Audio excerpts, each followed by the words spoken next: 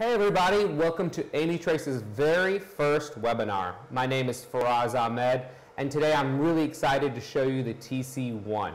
We just got our TC1 in last week. We have it set up in our uh, demo room, and we think it's a great product to kind of show you some of the highlights.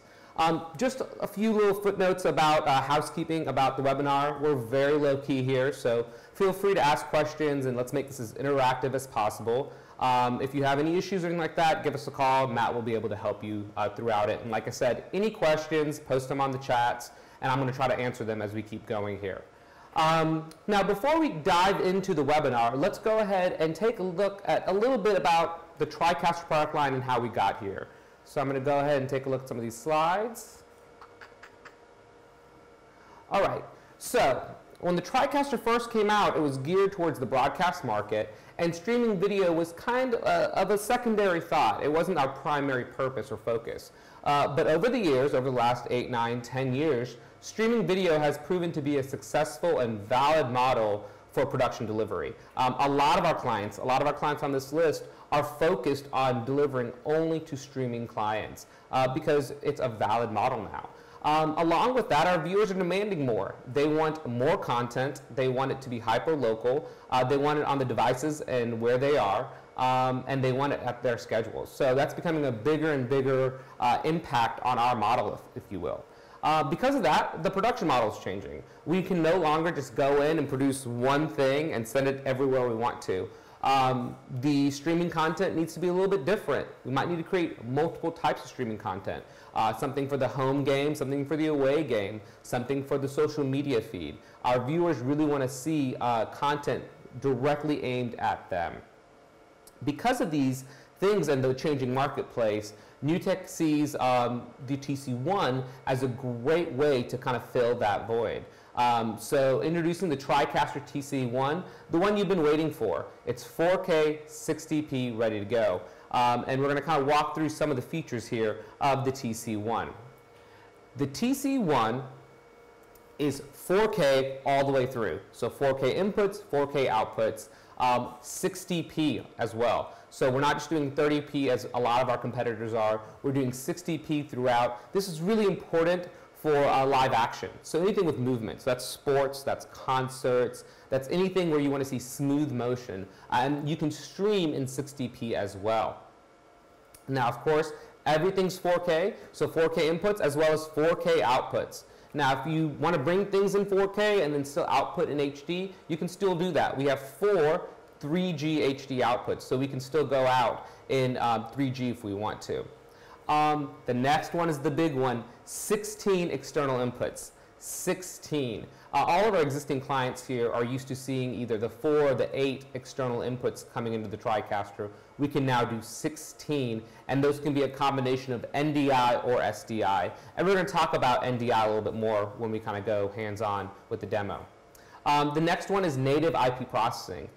Everything that we do with the TC1 is natively IP-based. We don't go back and forth. We don't go back to hardware and then IP. NewTek has always been a software-driven company, and your TriCasters are software-driven. Um, and so that's a huge advantage uh, as the whole model is going to IP now.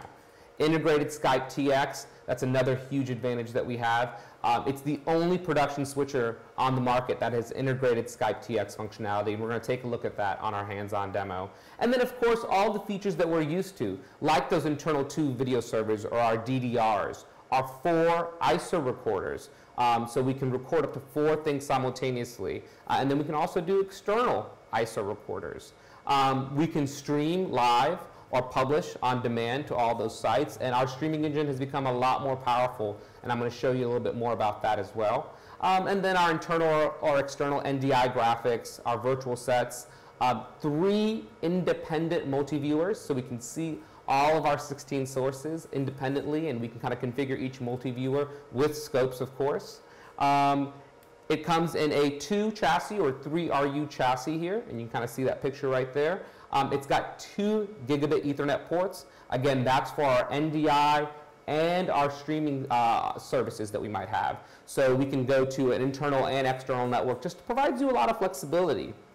Um, two graphic players, digital analog audio, and then PTZ camera control. This is going to become a big thing as um, you kind of move forward in the NDI world. Robotic cameras are becoming very cost effective, and having that control built into the TriCaster is going to be a huge advantage. So in graphic form, it kind of looks like this. Um, right above me here, you've got the video servers, you've got the graphic channels. These are all the different inputs that you have coming in to the TC1. Um, about 36 channels of inputs coming in. Of course, there's 16 external ones, 16 again, uh, and that includes key and fill. All right. Let me go to our next slide here. So what we're going to take a look at now is at some of our key features of the TC1. Um, and so the first one that I've already kind of talked about and I'm really excited about is our 4K 60p functionality. Uh, where everything we're doing is in 4K 60p as well as 3G SDI in full HD 1080p. Um, so that's one side of the equation, right, that we're really excited about, and that's kind of the current technology that's kind of happening right now. The other side of this is NDI. Now, NDI is a big deal, and NewTek has really put all their focus into NDI. And we've been talking about NDI for about a year and a half, two years now. A year ago, it was a lot of excitement, a lot of buzz. Everyone was kind of getting on board talking about it, but we weren't really sure how to implement it. Today, the game has completely changed. Everyone is embracing NDI. Not only partners of NewTek, but competitors of NewTek. It has become the standard to bring video uh, on your network and into the TriCaster. So all NDI is, is rather than work with an SDI cable that has a finite length and has a one-way connection, NDI basically creates a network for you. So when you connect your TriCaster to your internal network, any other NDI devices become available to the TC1 and vice versa. The TC1 becomes available to all those other NDI devices. At the end of the day, that's all it is. As soon as you connect to the network, you become NDI capable. It could be as simple as watching some of the outputs of your TriCaster, or bringing Premiere in and playing back from Premiere into your TC1. So let's take a look at the TC1 here and see how that kind of looks here. All right, so this is our TC1 interface that we're taking a look at. And you can see the first thing you notice is all of these inputs here. These are all inputs that are coming in into my TriCaster. Now, I could click on any one of these inputs, and I can see that these are my local SDI inputs, input 1, input 2, input 3, and input 4. So those local SDI inputs on my TriCaster. And then the rest of these are what we call NDI inputs. These are those other devices available on my network that are producing NDI signals for me. So um, this is the TriCaster uh, 460, and I can access all of its cameras and all of its outputs. I can access another uh, input module here. These are all NDI devices available to me. Um, I've got a VLC player. So I simply just click on one, and now I'm bringing in an NDI source. Um, to tell you right now, actually all these inputs that are coming in on our interface are NDI. I don't have any local SDI sources hooked up. I don't need to. It's much easier to populate this with NDI, and you can kind of see this as all being NDI sources and ready to go. And of course, NDI and the SDI support that 4K at 60p. So that's the big highlight right there. 16 inputs, they could be NDI or SDI in 4K. Let's keep going here and take a look at some of our other features. The next big one is Skype. We have integrated Skype functionality. Um, Skype TX is the studio grade version of the popular Skype app. So basically it has all the broadcast features in Skype TX and that's integrated into the TC1. So there are 300 million active monthly users of Skype. That could be on your iPhone, your Android device, on your laptop, whatever you might have. And those folks can come in to your TC1. That's integrated right in. So let's take a look at how that works. So I'm going to click on one of my available inputs, one of the 16, and I'm going to say I want to use one of the Skype TX callers here. So I'm going to click on that, and that's now going to bring in the Skype feed. Now I can manage the Skype feed remotely. That way I don't have to worry about it on this computer. I can have my producer do it, I can do it on a separate laptop, and that software comes included. That interface looks like this. So this is my Skype interface, and you can see that I actually have two Skype TX callers. So I can actually bring two folks in simultaneously from different locations. And so I'm going to call someone here. I'm going to call Matt, and he's going to come right in here. We're going to establish that connection. Let's see if Matt is listening. He, Matt is listening there, and there he is. And if I go to my interface now, there is Matt, and he's coming right in. And I can see that he's coming in. I can kind of talk to him, and I can have that robust communication going on right here. And at the bottom, if you look at my audio mixer, you can see his audio is coming in. You can see these Skype callers, the two independent feeds, as well as I have independent talkback. So I can choose exactly what I'm going to send them. All right, Matt, go ahead and say bye to everybody. I've had enough of you there. There you go. Thanks.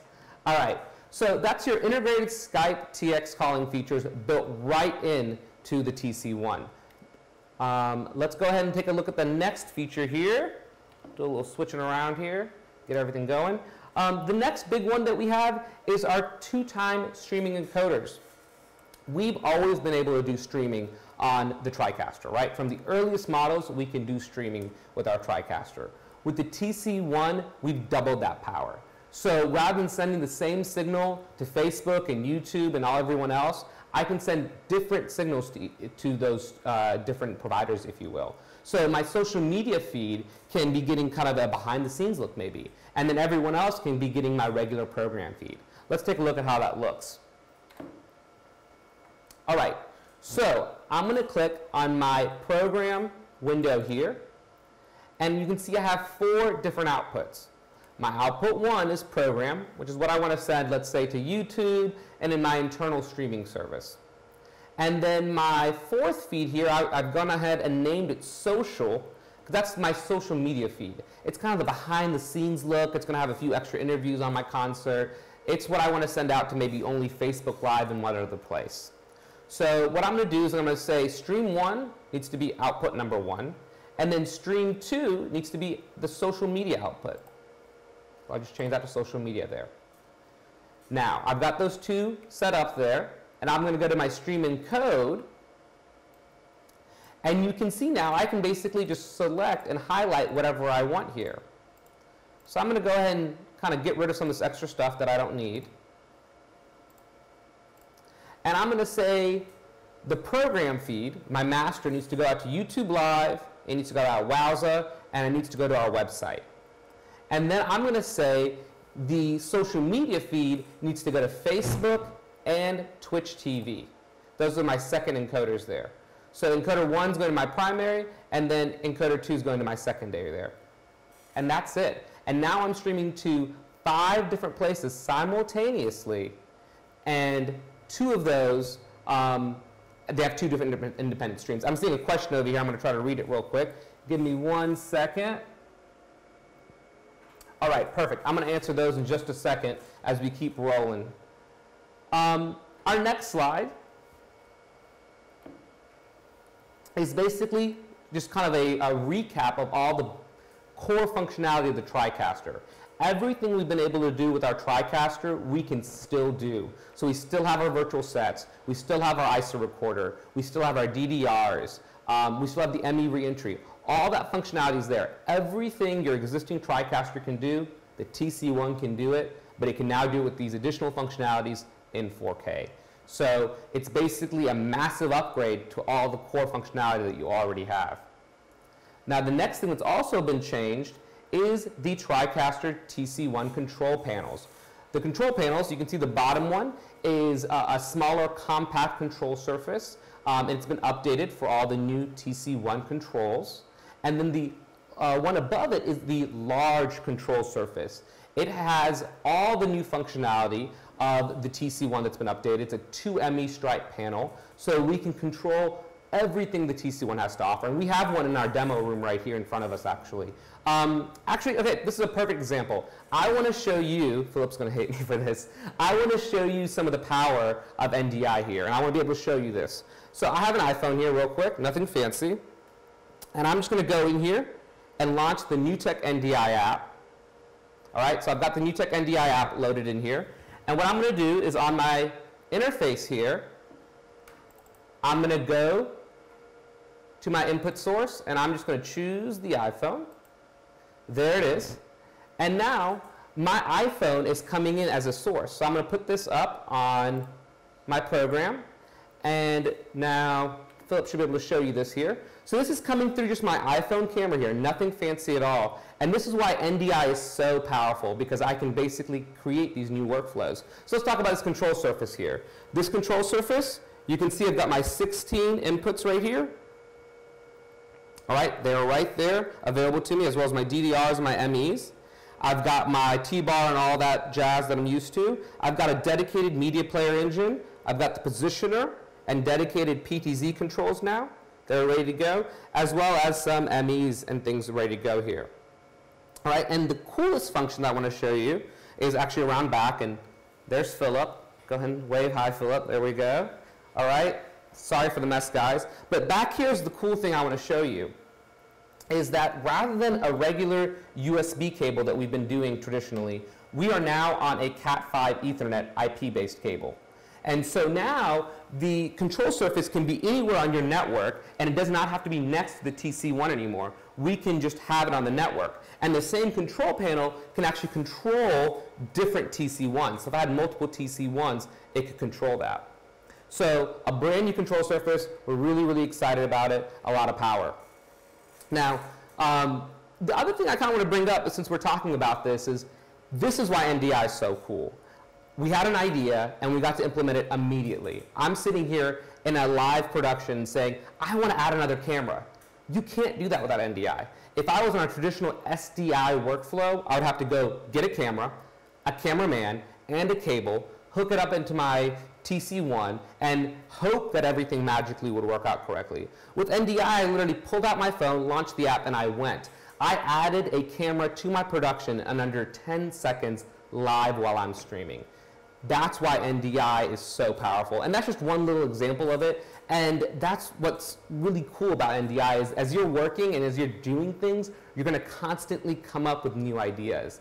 Um, again, traditionally, if I had done something like that, your director, your producer would be like, you're crazy. This is just asking for a nightmare. With NDI, I don't even have to ask them. I just pull up the camera and ready to go, and it just popped right in. So really, really powerful. Um, it's kind of the most exciting thing to me about the TC1 and NDI is that you now own the possibilities. You can do whatever you want. Technology is not driving the content.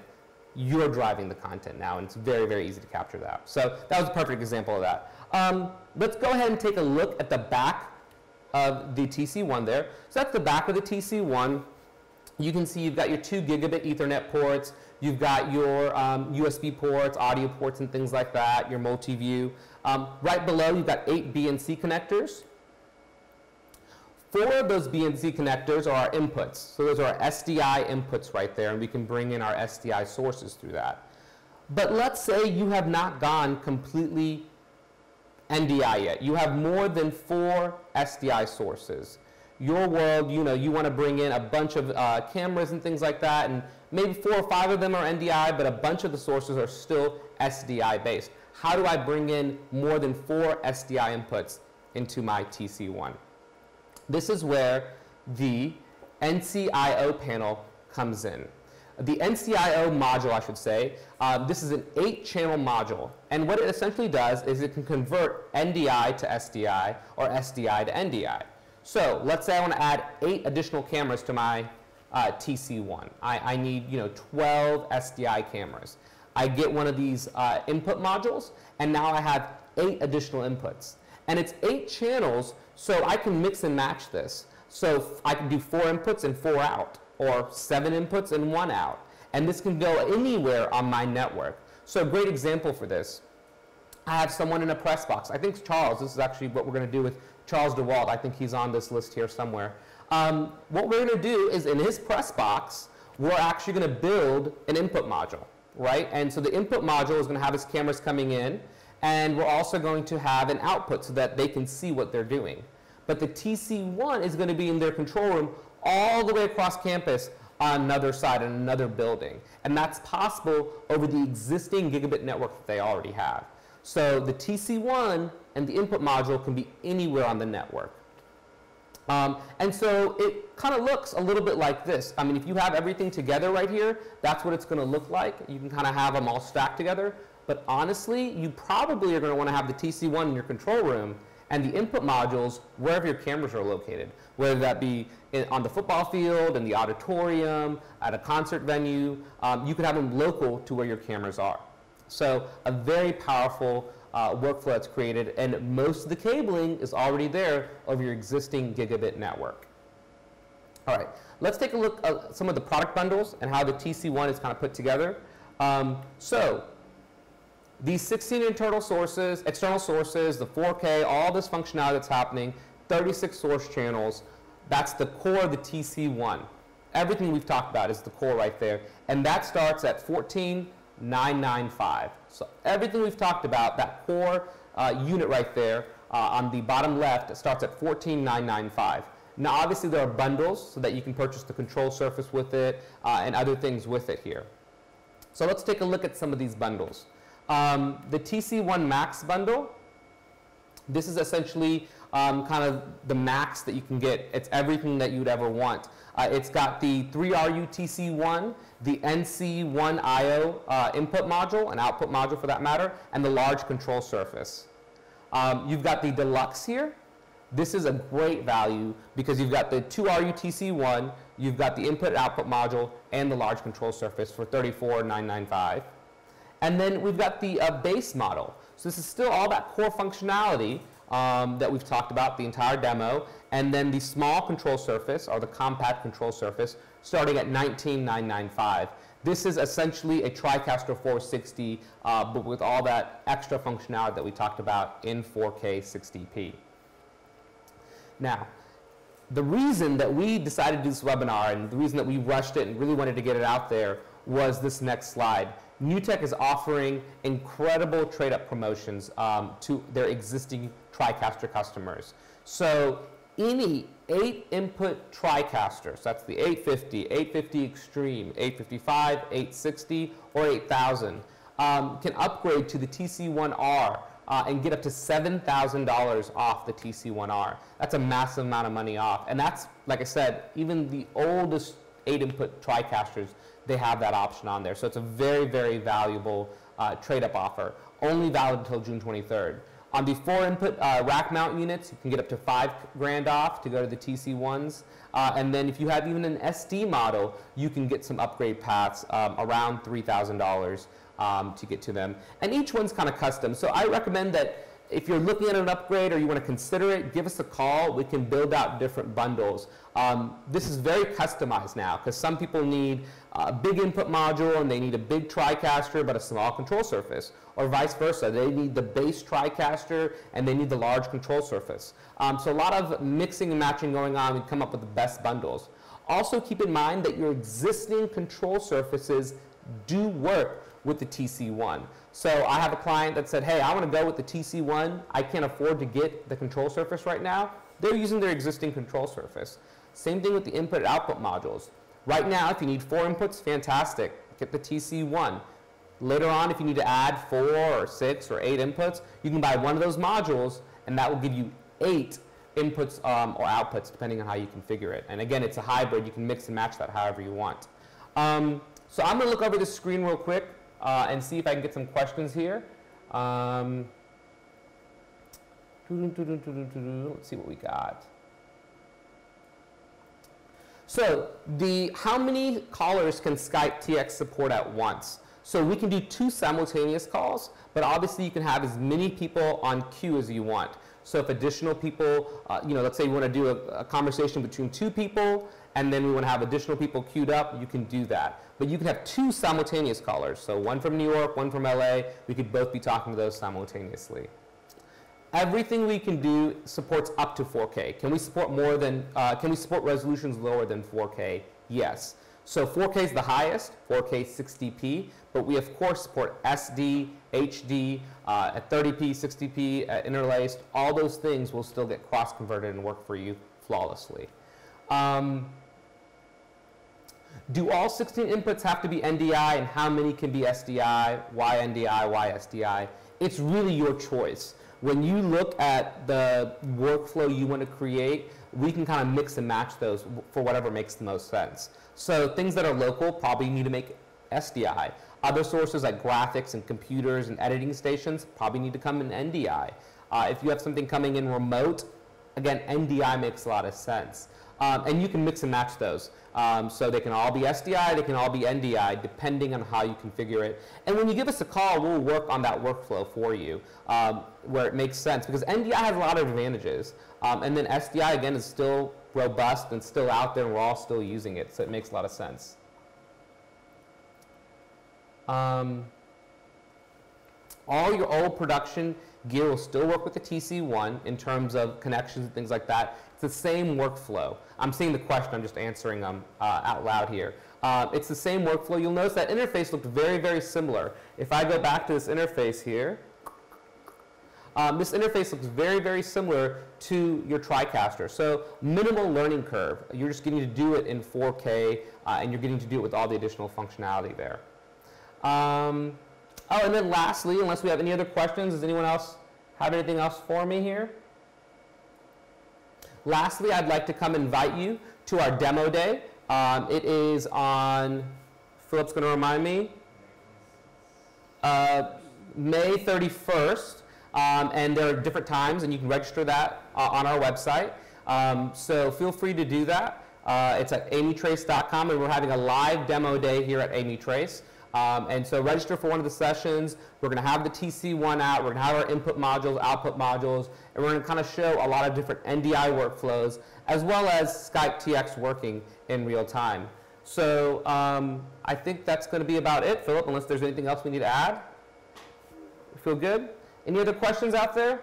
TC1 supports ME entry, absolutely. TC1 supports ME entry, um, and that's at all four ME entries. Um, and each ME has four key channels, uh, as well as four layers here. So if I go to a four input layer, give me one second. So each ME supports four layers as well as four key channels, and then there's ME reentry. So um, all the power of the 8000 is still here, and then a lot more. So ME reentry, and you've got four MEs, and you also have PreViz, which was an advanced edition feature. Uh, and of course, it supports comps, um, so you can go back and forth and do some animations, uh, and it'll handle that. Uh, that was a question from James. Did I answer that, James? ME reentry is 100% supported. Again, with four independent outputs, and it also has four independent SDI outputs. do I need a license for NDI to bring a desktop or is it free?